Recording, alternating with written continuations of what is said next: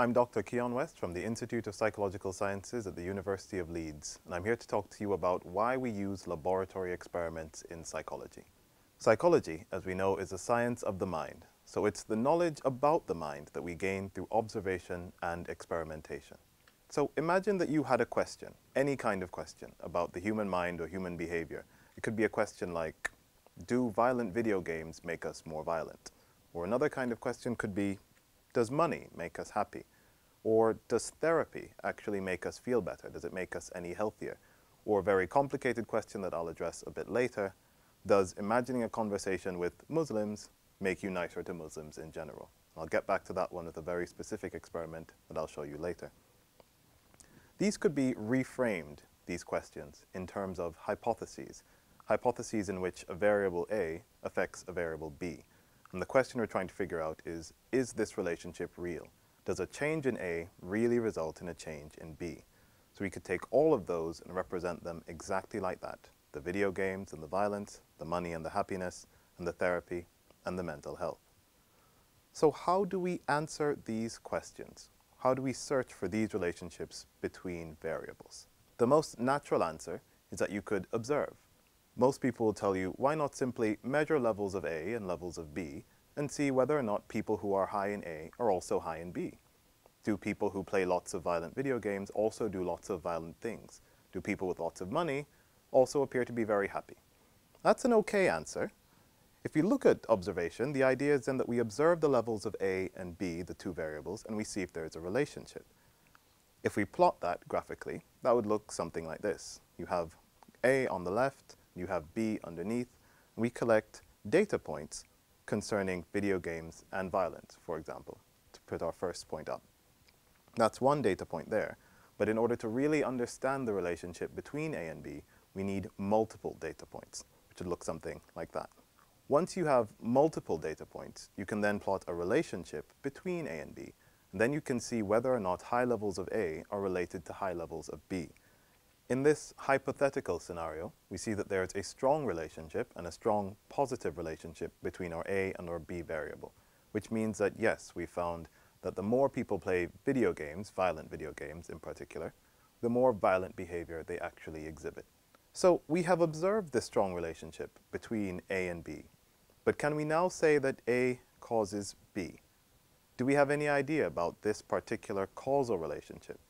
And the answer is no we still have no idea, despite having found that A and B are very much correlated. And there's a reason for that, or rather there's three very specific reasons for it. It's because even if A is related to B, there are three possible scenarios that could explain that relationship.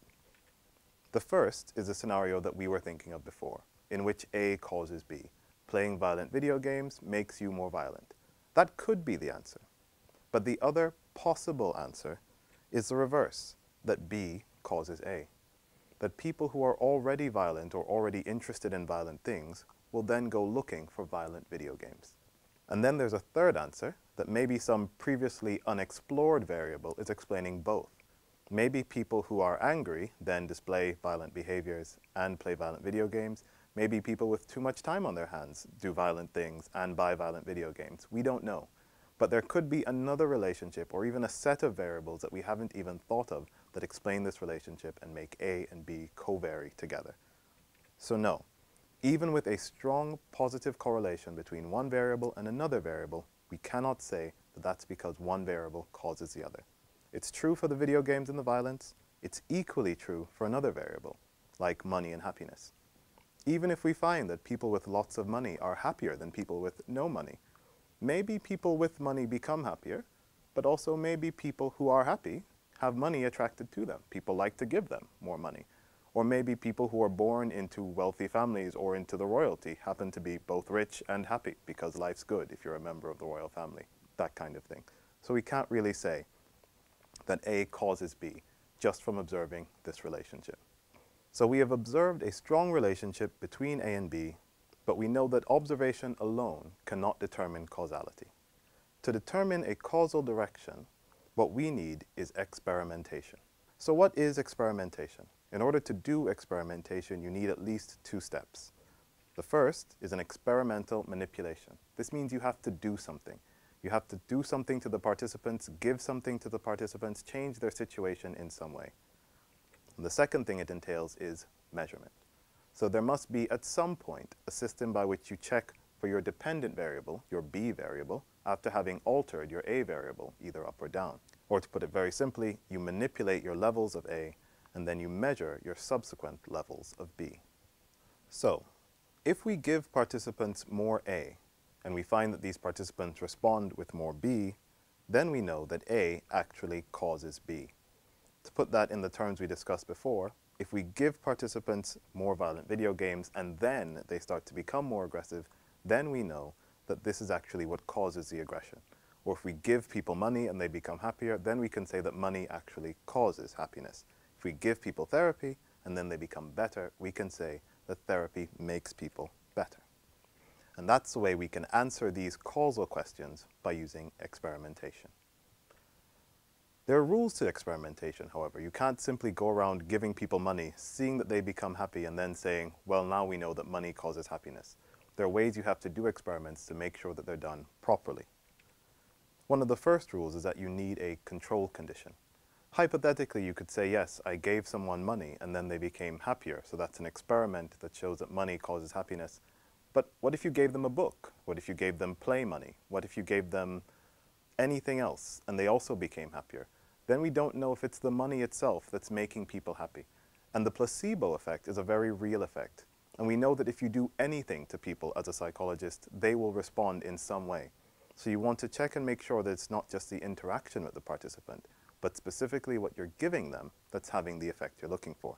You also have to make sure that the experiments are double blind.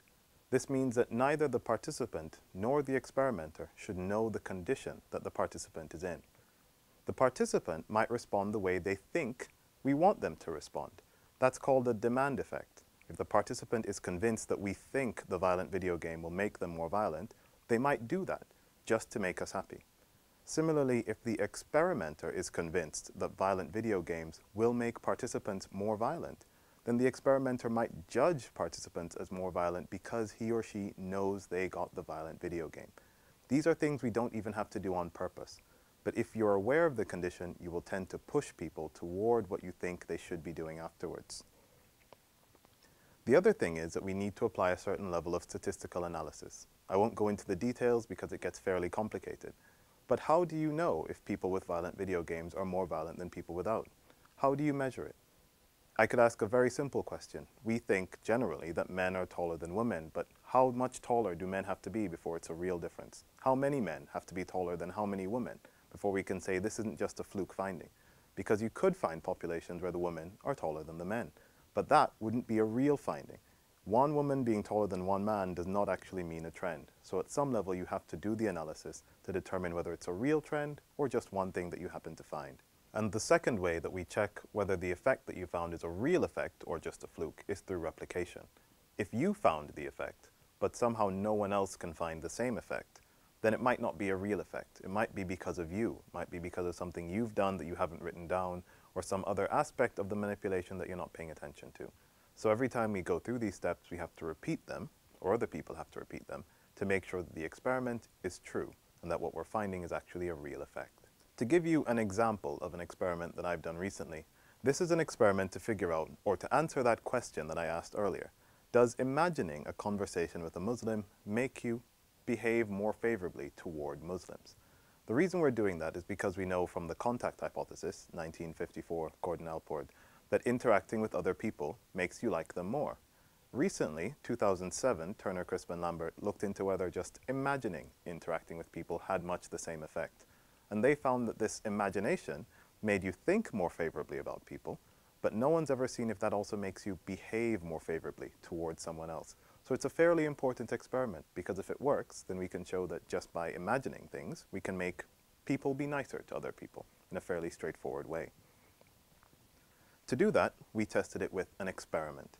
So in order to have a proper experiment, we needed an experimental condition and a control condition. The experimental condition received the experimental manipulation. We instructed them to spend two minutes imagining having a conversation with a Muslim stranger. There were more instructions included in the set, but that was basically what they did. and those in the control condition did almost exactly the same thing, except there was no mention of Muslims. So they imagined having a conversation with a stranger, no Muslims mentioned. Now, all the participants were not Muslims. They were white, non-Muslim undergraduate students. We made sure to measure that beforehand. And they were randomly assigned to one condition or the other condition, and we didn't know which condition they were in, and they were unaware of the fact that there were other conditions to be in. So we tested this as blind as we could.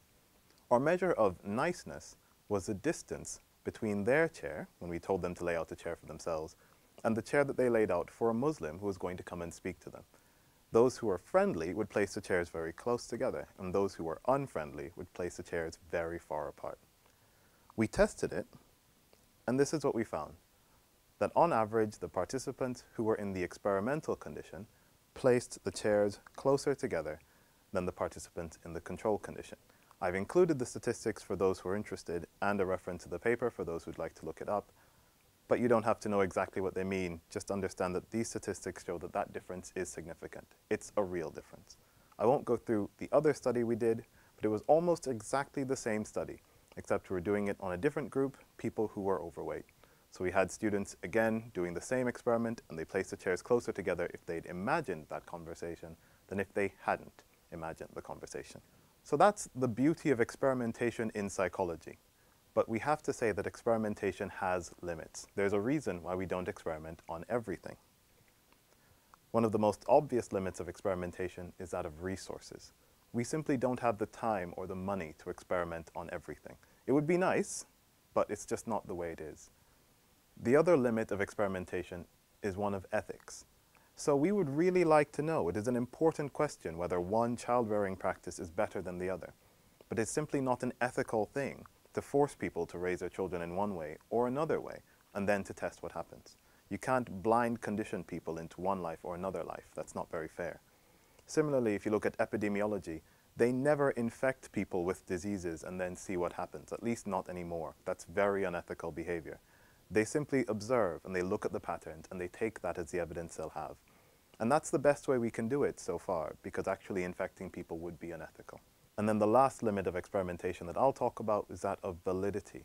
So yes, in the lab, we got undergraduate students who are non-Muslims and white to sit down and imagine talking to a Muslim in our company and then lay out a set of chairs.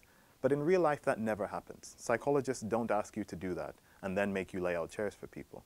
So in what way can we say that this actually translates to real life experience or to real life behaviors? Now we can get around that by designing better experiments and designing experiments that take into account more real life variables, but then we get back into the time and the money. So we're doing the best we can, but this is how they work and this is how they help us understand what's going on. So, in summary, psychologists use laboratory experimentation